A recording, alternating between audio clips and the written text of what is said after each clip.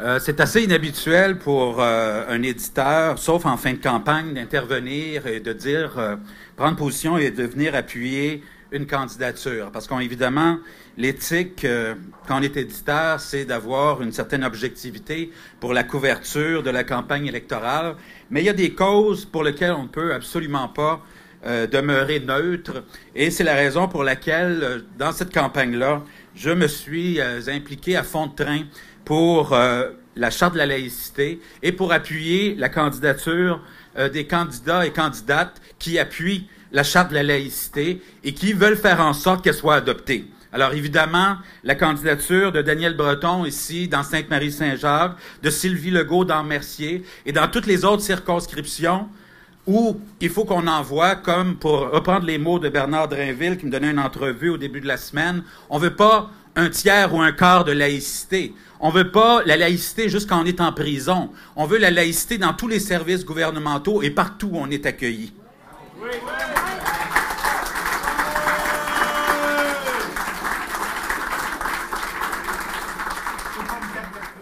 Euh, vous me permettrez de le prendre, d'aborder la question pas mal sous l'angle de la communauté lesbienne, gay, bisexuelle, trans, LGBT. Vous devez commencer à être familier avec l'acronyme.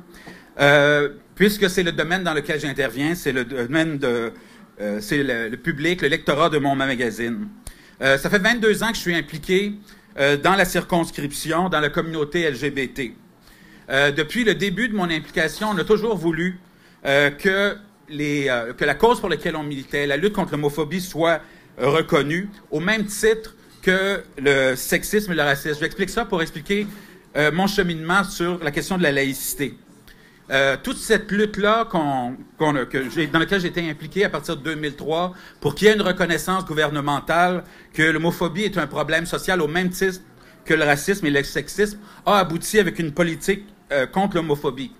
Si ça a été beaucoup plus laborieux, ça a pris huit ans à faire, digérer au gouvernement euh, libéral d'avoir une politique contre l'homophobie, si c'était beaucoup plus laborieux au Québec de reconnaître ce problème social-là, plus que le sexisme et le racisme, ça a pris peut-être 20, 30 ans de plus, euh, c'est que l'homophobie, euh, c'est présent de façon beaucoup plus radicale dans les religions qui ont pendant longtemps servi de morale à nos sociétés. Euh, si la plupart des religions placent les femmes dans une position subordonnée et veulent contrôler leur corps, dans le cas des minorités sexuelles, c'est notre existence même qu'ils remettent en question, qu'ils rejettent.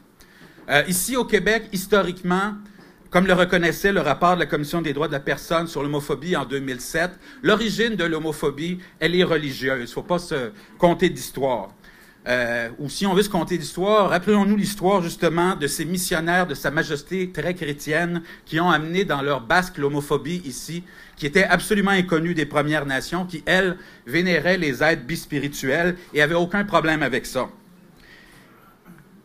La condamnation de l'homosexualité par les religions a laissé des traces dans nos services publics.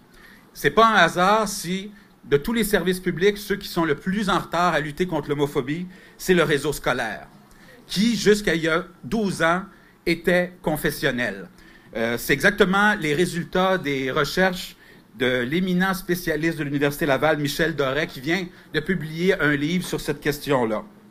Et en passant là-dessus, euh, à tous les opposants à la charte de la laïcité qui disent que le projet, c'est un projet xénophobe, raciste, catho-laïque. Euh, rappelons-leur seulement à qui nous devons que notre système scolaire au Québec n'est plus confessionnel, mais sur des bases linguistiques. C'est à une dame qui traîne dans la boue qui s'appelle Pauline Marois.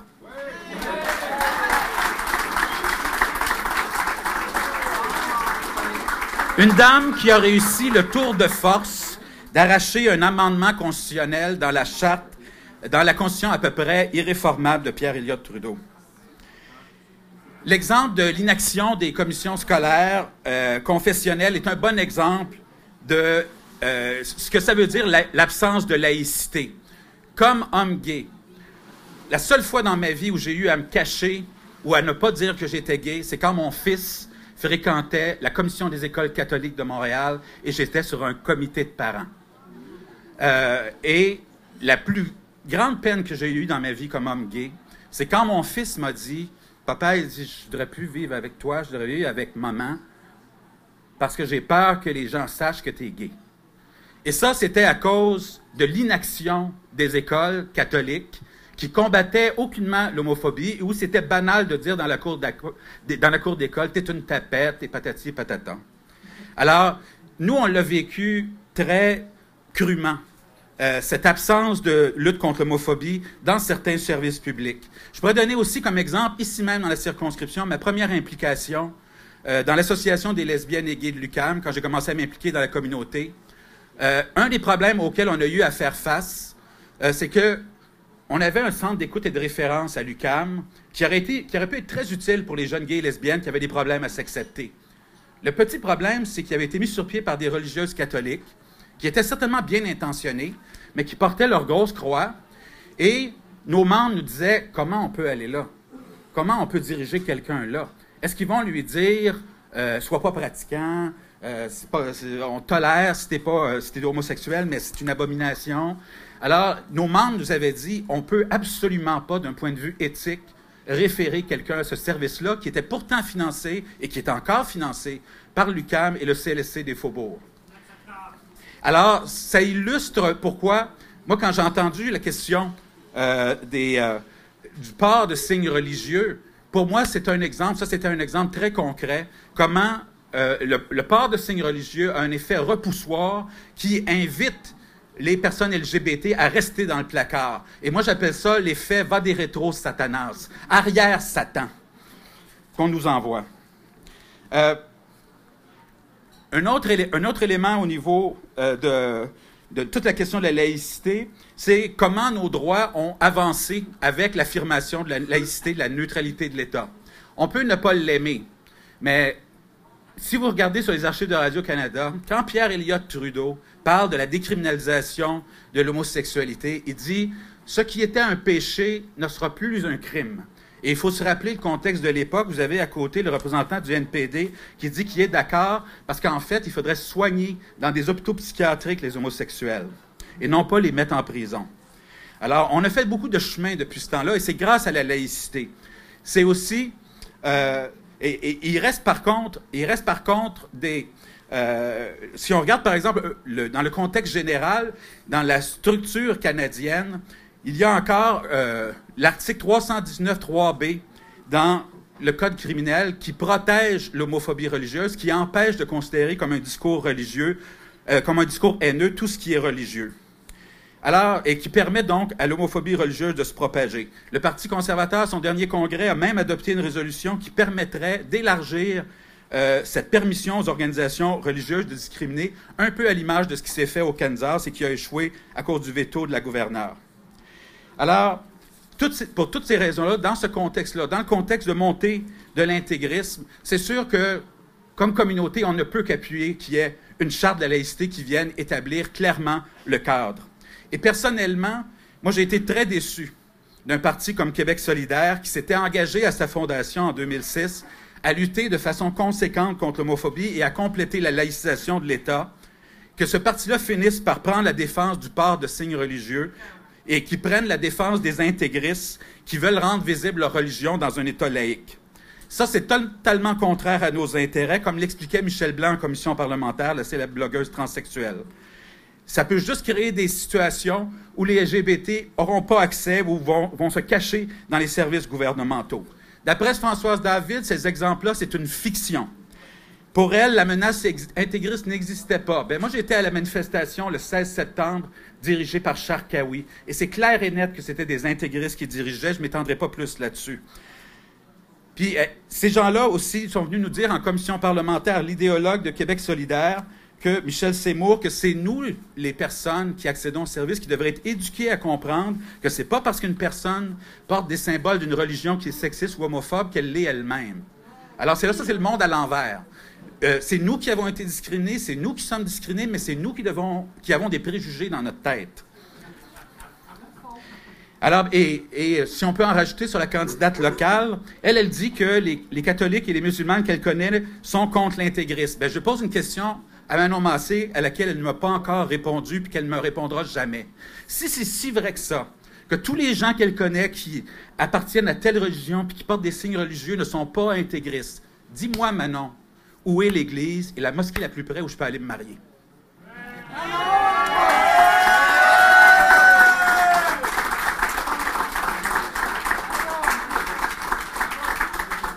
Alors, tout ça m'a amené à revoir mes appuis dans Sainte-Marie-Saint-Jacques comme au Québec.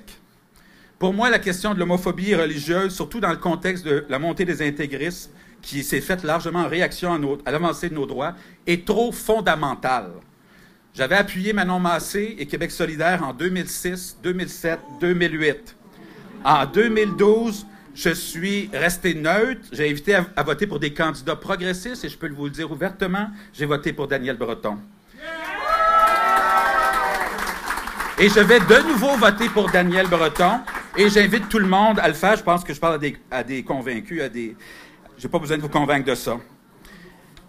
Euh, juste quelques mots en terminant aussi sur l'autre qui aspire à devenir premier ministre.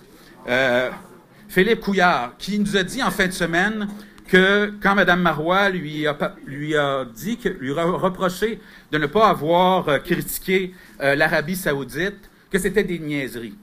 Alors, pour M.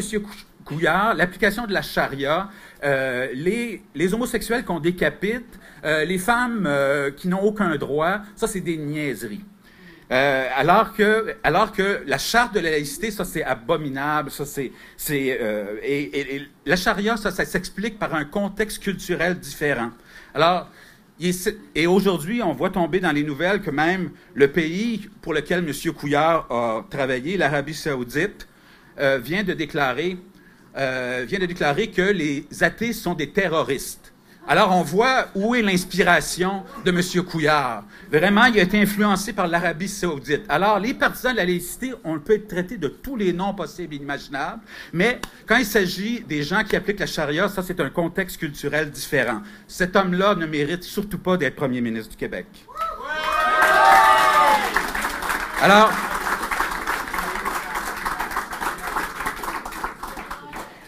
en terminant, il y a plein d'autres bonnes raisons sur lesquelles j'aurais voulu parler pour appuyer la candidature de Daniel. C'est un homme progressiste, c'est un écologiste.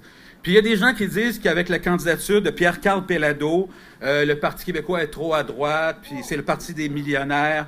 Moi, j'ai déjà entendu parler des finances de Daniel Breton. Et euh, c'était pas parce que c'était pas parce qu'il avait euh, mis de l'argent dans un paradis fiscal, ça je peux vous le garantir. Et je pense qu'en fait, la vie, euh, les origines, l'expérience de Daniel Breton font en sorte qu'il peut très bien comprendre les réalités des gens de Sainte-Marie-Saint-Jacques.